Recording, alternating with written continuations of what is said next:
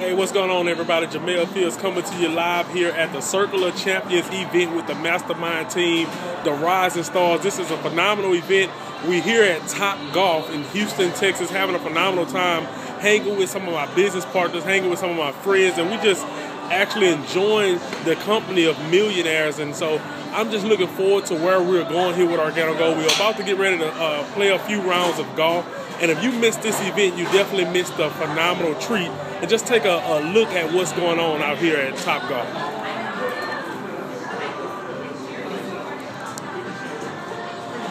You never want to miss a Circle of Champions event.